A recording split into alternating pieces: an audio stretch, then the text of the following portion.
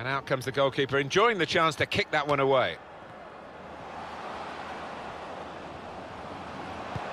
Threads it through. Real chance. Brilliant goal!